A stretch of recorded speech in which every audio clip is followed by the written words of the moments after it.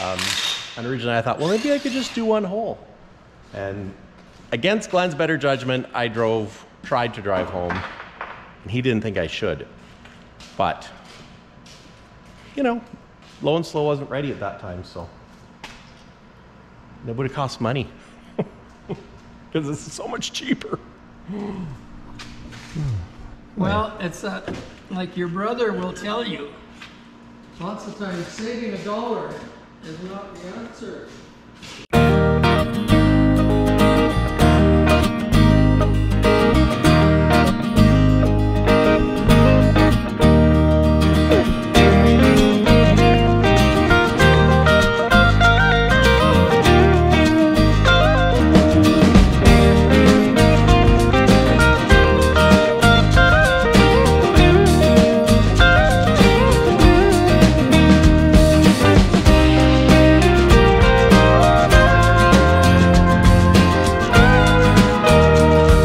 Hey guys, Mike Chamberlain here. Welcome back to the channel. Welcome back to the blog. So, we've got Duke inside. I've got the hood flipped open. I was, uh, you know, after washing them up, I sprayed this down with some uh, uh, brake clean. And um, yeah, we're gonna pull the valve cover off, see what we can see in there. Maybe pull the pan off, see what we can see in there. Um, I was mucking around last night because this, um, well, this piece is corroded and cracked, and it's right there where the mirror goes. So I'm gonna clean that up. I mean, it's not a priority, but there was some staining here, so I used a little bit of my etching acid to um, clean that minerals off, corrosion, I guess. Um, finish getting some of the glue off so it's nice and smooth. Um, I do need to use some of the etching acid on the stack shields, but um, it wasn't a really a priority at the moment. But uh, and it's kind of annoying because some of those decals kind of stain the paint, which is a little disappointing. But um, but you know what? This truck is in great shape. I think for the age, it's in great shape. You know, a few scratches on the back, a couple little dings here. Um, not the end of the world. Well, certainly not the end of the world. And that's one of the things that really attracted me to Duke was how nice the cabin that is. So um, definitely shows that it's a, a low mileage truck as far as on highway. But this is what we got to tackle right now. My little C13 is broken, and I couldn't find, um, I couldn't find any um, any holes in the block at the moment. So, you know what? Maybe we'll get lucky. Maybe it just blew the oil all out the uh, dipstick tube. So, hmm, let's get into it and see what we can see. And Dad's on his way over um, to give me a hand again. And I think what I might do is I might, depending how it goes, we're not working on Smoky today because it's it was snowing earlier. It's miserable outside. Um, and I might move Stubby over here so we can work on him so he's away from the motorhome, away from the gas jerry cans on the other side.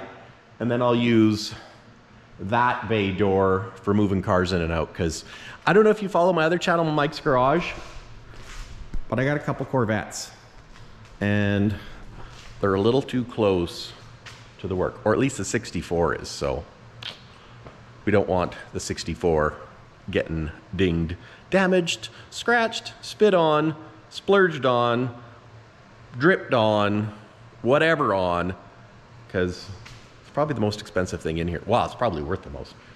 Actually, it is worth the most of anything in here, so. Anyways, I'm gonna get to it, and uh, maybe I'll just start cleaning up a little bit.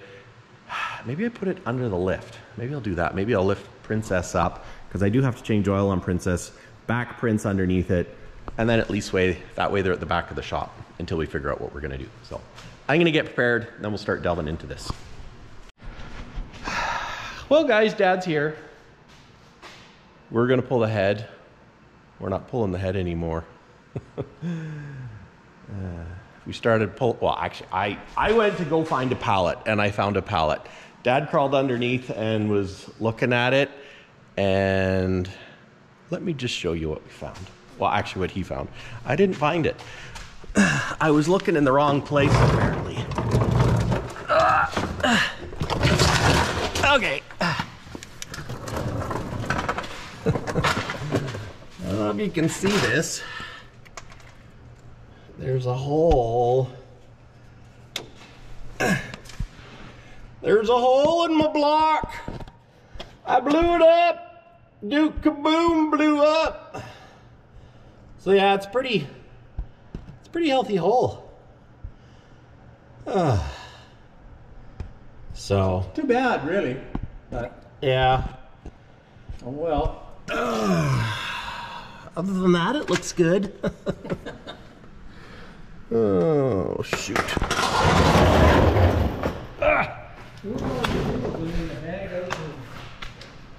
Oh, the what? Where's your tools?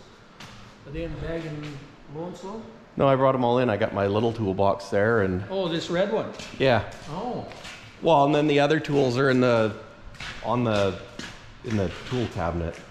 I'm looking for a 15 16th. Oh, well, there's wrenches in here. There's a 15 16th, so. So, yeah, I guess I think it's 15 16th. it's no surprise. I knew, uh, you know, in hindsight, when it started to clatter, I should have shut it down. Um, coulda, shoulda, woulda. But, um, you know what? Do I get another C13? Um, last time I called the records, I could buy a running C13 for about 7,500 bucks. Um, when I look at a C15, it was anywhere from 15,000 to 25,000 for a running engine. But um, safe to say, Duke Kaboom went boom. So let's call it quality father son time. I thought that'd get a reaction out of him, but no. But um, yeah, so pull the hood, start pulling the radiator, and we're ripping this engine out. And you know what? In all honesty, I think I'd like to find a C15 if I can. Because I've got, I've got that big transmission. This is an 18 speed as well, but it's a 14, is it 14 or 1600 foot pounds? I think it's 14. I don't know if it'll tell me in the door jam or probably not. Uh, no. But, um, but yeah, so you know what?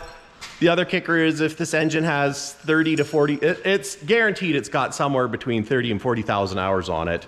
Um, like Dad says, the transmission PTO has 30,000 plus hours on it. So, anyways, I guess now it's a engine re-re.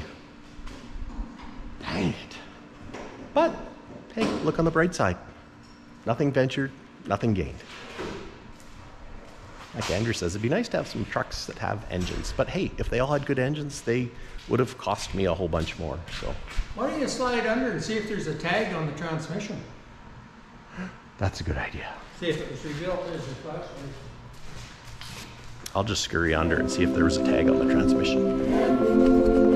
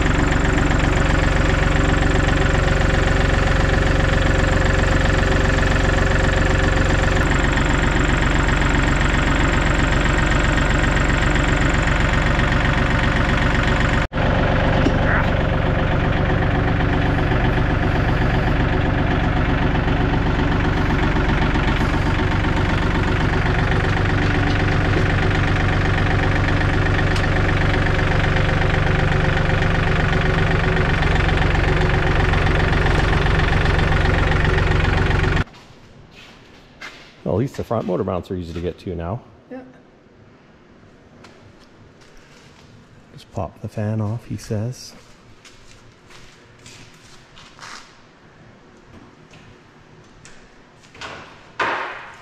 It really, I don't think it'd take that much to get this right out of here, actually. Mind you, I don't know what it's like to pull the transmission off. Undo the bolts. 'cause I've never pulled a transmission off. Block it up, under the bolts, and there you go.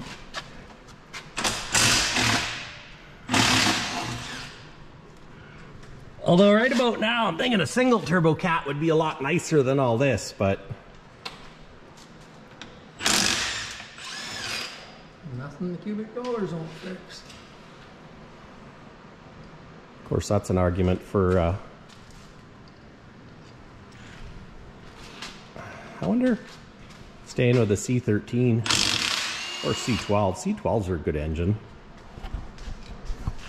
Well, I mean, I, it would be interesting to know how many hours are on that. Yeah.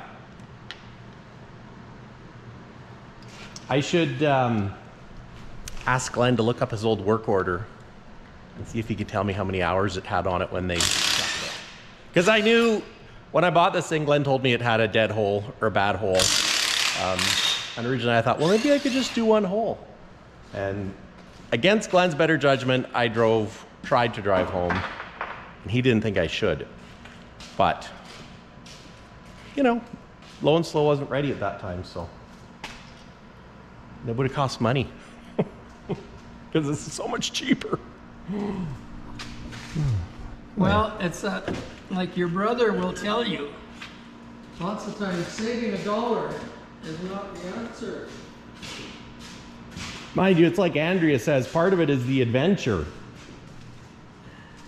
And I've never done this before, so it's exciting. Sort of. Stressful. What's this? Is that the power steering pump? I don't know. That's weird. It must be. On my that red 430 horsepower. that red Peterbilt of mine, this bracket here broke. Mm-hmm. Because I think they had trouble getting the bolts in. I changed the fan hub and uh, they only put two bolts in instead of four. This housing broke and went through the radiator. But how do you prove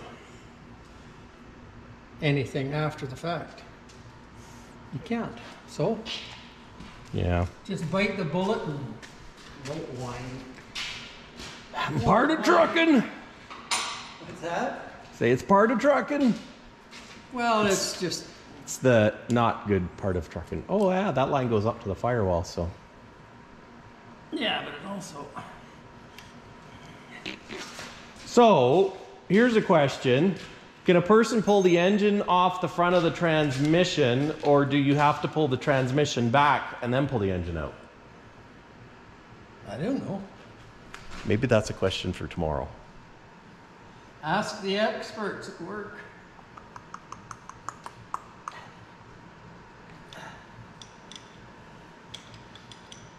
Of course, if we're using the backhoe, maybe that's an argument to just leave the transmission hooked up. Just Well. rip the whole thing out from the front gently. We can. Like, I would, well, depending on what motor you put in.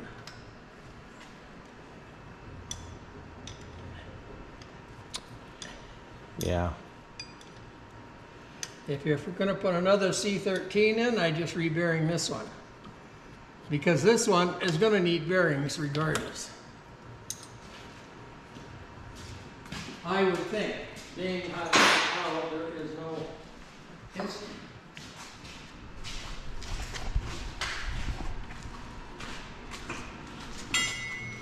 Well, I guess I should put this camera down and pull that lower rad hose off. I almost, I almost think a C15 that uses the same motor mount just sits out a little further, maybe. I don't know. I don't know. I'll have to pull that line off though, because that's that's interesting. All right. More work, less talking. Although I really like talking.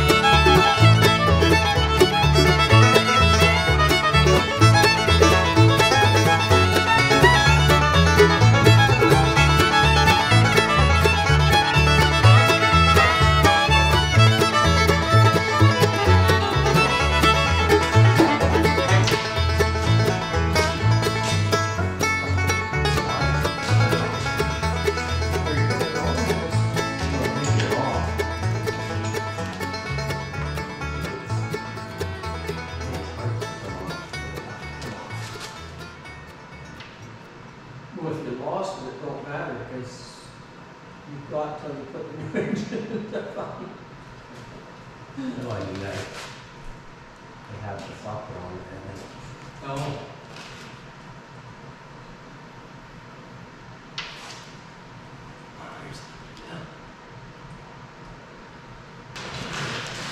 Now we just need to put a seven hundred horsepower C sixteen in it. One more, Radiator might be too small though. Only money, Maybe we could get a sponsor. are you going? Yeah. Does anybody want to sponsor me? I could use an engine. Prince George, British Columbia. Oh. Oh well. Now fun part. Looking for a cheap, affordable, good, affordable used engine. If I get a C13, then all we have to do is transfer everything off of this onto it and put it Well, back. in lots of ways, that would make the most sense. Yeah. Even if you got a short block. And put the head and all the other goodies on a short block. Then it's a, basically a new engine. If the head isn't pooched. I doubt it. But what out through the side, it probably didn't hurt the head. I would say, I don't know. I was bound to determine we're gonna, wow, thought we should pull the head off. Till I got looking a little closer and, I can't believe I didn't see that hole and, well, mind you, it was also minus twenty plus and it was cold that day. yeah, Very cold. On the side of the road, where's the head on? right there. And have a new engine, Yeah, good for another thirty thousand hours. or whatever. Or good enough to tow a step deck to go get more truck parts. Or throw my motor on. This way. Yeah. Four, five, six isn't really the best ratio though. Actually, the. Don't go so fast. See, I figured with four, five, sixes, I'd put twenty-four fives on this, because then it's, although, yeah, because the tires are, They're junking. yeah, and if I gotta buy aluminum wheels, I might as well buy twenty-four five, and I'll have to change the studs, yada, yada, yada. But Smokey has three five fives, so he's actually quite quick, so if I put low pros on him, then it would be no big deal, or even keep the twenty-twos or, It's I even thought about putting low pros on the front and leave the twenty-twos on the back, but It's got twenty-fours by it, doesn't it? No, it's got 22s. Is it? Yeah. Hmm. Yeah. Why it sits so low. Oh, okay. No, I just, I wouldn't change this, four, five, sixes. Well, that's what you had in the self loader. No, I had 489s in the self loader. Yeah, four, eight, nines, you still got around. Oh, yeah. Actually, we had, Well, this would be the same as the 489s with 11R22s, basically. yeah. But I think it would look better with twenty fours too, because Well, with that ratio, put twenty-four fives on and Yeah, then it'll be good. Yeah. Being as how, Well, and actually, even with a C13 with that ratio, it would have no problems pulling anything. A little bit, well, I'd be working hard with Super B work, but I don't plan on doing Super B work. like a lot of it is just don't go so fast. The only other kicker though is, do I find an engine that's gonna make the truck more valuable? Or do I put another engine in that's gonna be better on fuel? Because in theory, a C13 should be better on If you put a C13 long block in, it would probably be worth more than a C15 used. Yeah, I would think, because you put a long block in, then you've got a new, basically a new motor, and then get your head done, yeah, and uh, you've got everything else. I mean, in, in lots of ways, it only makes sense to put a long block in, right. if you can find one. Well, that'll be the other problem right now, trying to find stuff. Yep.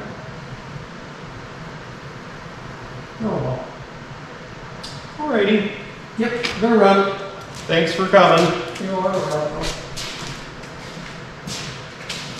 I think I've got everything off the engine um, that I need to pull it out other than undoing the bell housing and disconnecting the transmission from it.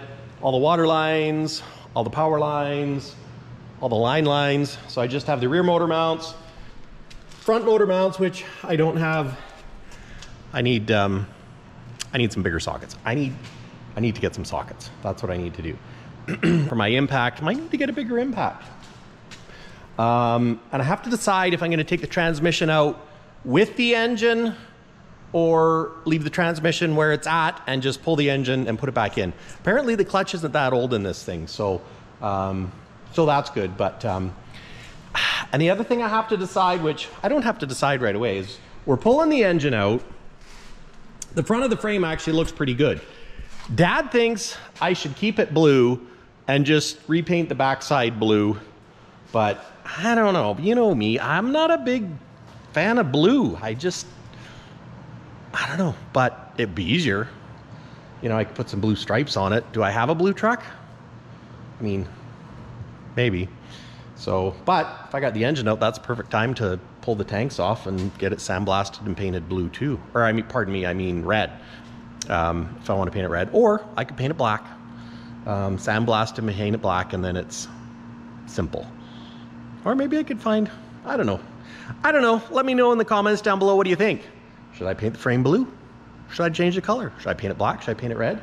And also, should I take the transmission out with the engine or leave the transmission in the truck?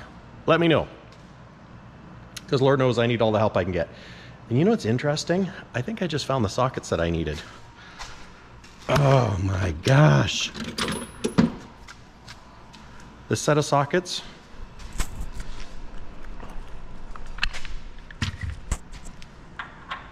Nope, not that one. Oh my gosh. I am a dingus. This one? it's metric, but it fits. Well, you know what? Now I can take the hinges off, put it back on the hood. So I really need to get a proper toolbox.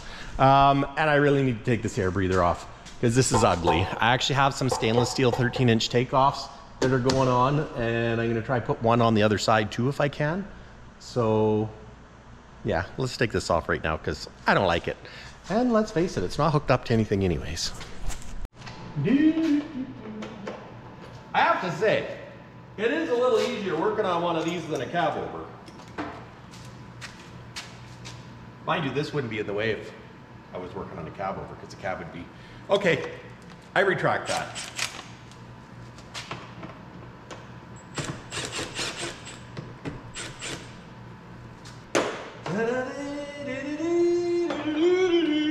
What size is that? 9 sixteenths or 14 millimeter. 14 millimeter. Just gonna give it a zip zip.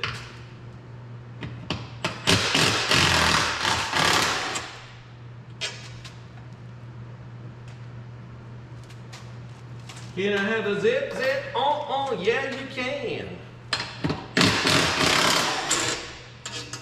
Oh yeah, look at that. It's all rusty behind it. All rusty. It's all rusty. Can't have that.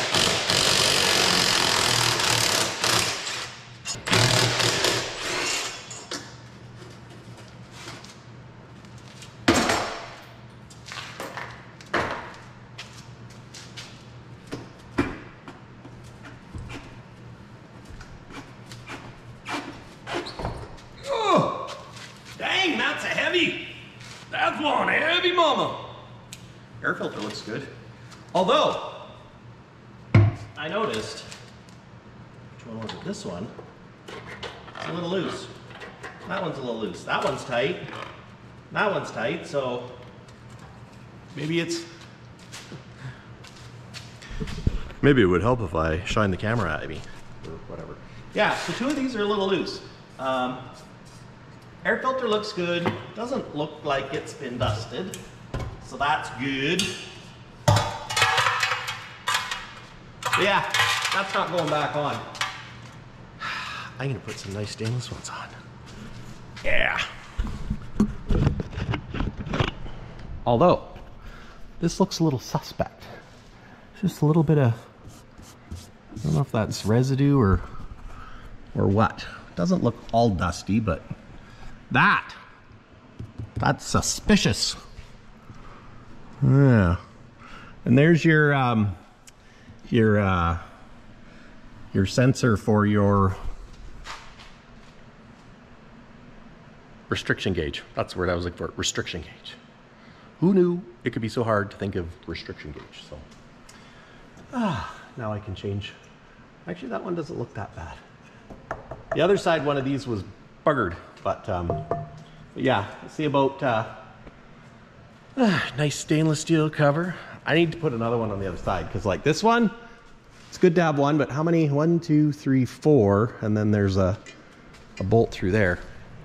It'd be nice if there was a bolt hole in there, but I don't think so. So I'm gonna have to one, two, three, four, and then in there. So I probably Probably what I'll have to do is drill a hole and uh, there, there, and there, and there, and then get um, one of those big, uh, I was gonna say hot guns, but it's not a hot gun, it's a riv nut, whatever, basically like these things where you squish it in, because I think it's probably one of those, yeah, but a big. So, so that's what we'll do. Now, do I drill out this hole and add dual intakes? Or do I just stick it up against the side and call it good? Might be a little bit hokey. Cheaper and easier though. So we'll see. I don't know. It really needs to have two air breathers though. But to cut this hole out seems like a seems like a lot of work. And then of course I have to come out here and I got these there, although I could move those. Um, then I have to get piping and, or I just bolt it on and it's just for looks. Like really, I could just put it on for looks. And if I, oh, oh, I can make a little cooler out of it. Yeah. I don't know. We'll see what happens. But um, anyways, guys, thanks for watching. Let me know what I should do. Do I paint the frame? Do I not paint the frame? Do I pull the tranny out with the engine? Do I not pull the tranny out with the engine? Do I get a C15? Do I just get another C13? Because that would be the easiest, simplest, and probably better on fuel too. But um, anyways, guys, thanks for watching. Much appreciated. Till the next one. Peace.